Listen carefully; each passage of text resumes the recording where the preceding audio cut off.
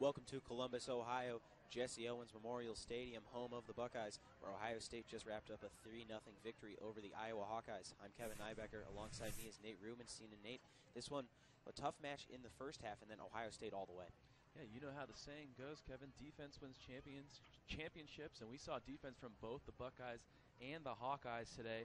But on the offensive side, it was all Lindsay Agnew for the Buckeyes. Three goals, getting a hat trick.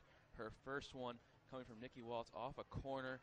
Then another one off of assist from Michelle Prince.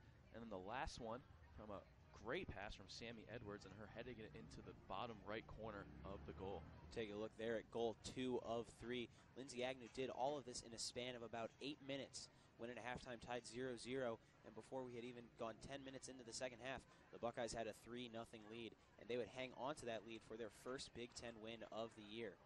Like I said, I'm Kevin Nybecker, and he's Nate Rubenstein. Thanks for watching women's soccer on the Big Ten Network.